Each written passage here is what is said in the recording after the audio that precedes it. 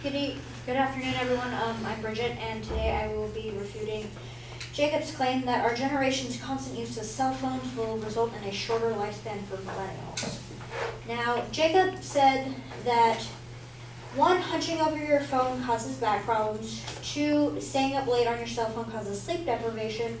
And three, that cell phones cause major distractions while driving or walking out in public. Now, disputing his first secondary claim that hunching over your phone causes back problems, it's not the phone necessarily, it's our posture while doing so. Um, according to SpineUniverse.com's article titled Is Your Cell Phone Killing Your Back, which Jacob used in his speech, was that these devices influence our posture and body mechanics in unhealthy ways that contribute to neck, upper back, shoulder, and arm pain. Furthermore, poor posture while sitting, standing, walking, or in a static position can lead to more than upper body pain and stiffness. So, our cell phones only influence it in the same way that just regular sitting and standing with bad posture can influence it. That's not really an argument, in my opinion. Secondly, the rest of the article goes on to discuss how to fix your posture, something that Jacob failed to mention. It goes on to say that first, don't use your cell phone or tablet for extended computer work. And when you use the cell phone, instead of bending your head down to look at it, simply raise your phone up. And the posture, your posture will be better and you won't have as many back problems in the future. His second claim that staying up late on your cell phone causes sleep deprivation, it's not that millennials are staying up late because we're on our phones. It's because of our work schedules. Um, millennials are working odd hour jobs. Um, according to Newsweek's article, Our Sleep Problem and What to Do About It, nearly 7 million Americans are currently stringing together part time jobs. And these people are likely to have erratic and often inconvenient work schedules. Not exactly a recipe for proper R&R. Then it goes on to say that millennials were by far the most stressed and reported the highest rates of feeling sluggish or lazy and having problems concentrating on things they need to do. So once again, it's not our phones, it's our sleep schedule and the fact that we're just stressed out that is causing our sleep deprivation, not our phones. And if you are worried about your phones, Androids have um, two apps that you can use for a blue light filter. Um, one of them is called Twilight and the other is called CF Lumen. And these are apps that you can use if your phone is not already equipped with a blue light filter, like most smartphones are. And if you're an iPhone user, iPhone 5S and the newer models are also equipped with a blue light filter. Lastly, Jacob stated that cell phones cause major distractions while driving or walking out in public. Well, here's the thing. We have rules against using your cell phone while driving. According to the National Conference of State Legislatures, 46 states, DC, Puerto Rico, Guam, and the U.S. Virgin Islands ban text messaging for all drivers, and that 37 of those states and DC ban all cell phone use by novice or teen drivers, millennials.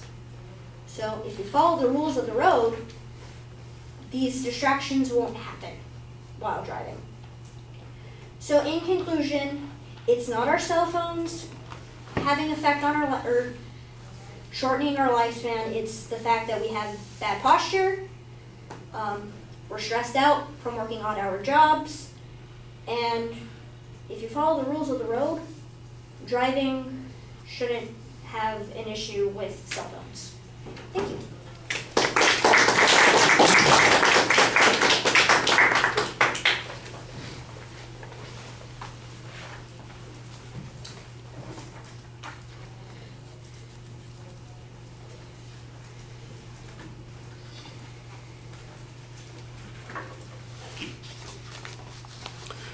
Structurally, everything is good. I think uh, you you've got it very clear on all of your points that you are suggesting that alternate causalities exist on all of these particular points, and pointing to the cell phone is an oversimplification of the issue.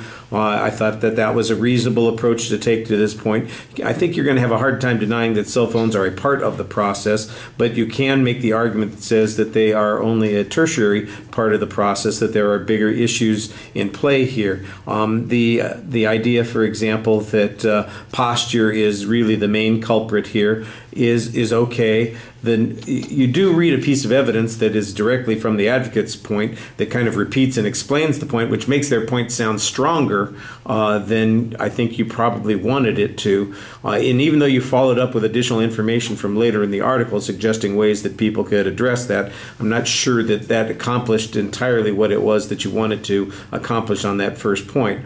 On the second point, uh, I, the thing I liked here was that you just went directly for an alternative causality that has nothing to do with phones whatsoever. There's no connection here, and that you documented particularly with the age group that you are that's being discussed uh, primarily in this situation. Uh, I thought that that was pretty effective. There's not any real discussion of what the advocates' arguments are, except that you do have this uh, idea that the phones are equipped with these uh, blue light screening devices or uh, apps or tools that are available there. I don't remember if that was the advocate's argument that the blue light has a, a negative effect on the sleep patterns in the long run. Um, I think you could explain that this is a, a, fix that exists on all these phones. Nobody has to have this problem. That the real source of the problem then is, you know, that we have busy lives and people are uh, trying to multitask and they have lots of stresses that occur at this point in their life that. Uh, you know, are, are different, and it's got less to do with being on the cell phone and more to do with the times. And it wouldn't be hard to, I think, find some examples of things going on in these times that would support that position. Uh, the third point, uh, I like the uh, way that you went after this directly, saying, look, we recognize that these are potential problems, but we do have actions against them. If people would cooperate with those actions, we wouldn't have any particular issue that's going on. Um, that's I think those are reasonable arguments to make. I think that you did a good job labeling the claims for the most part, and uh, you had good evidence on your counterpoints, which I thought really helped uh, make your argument a lot more effective. All right, thank you.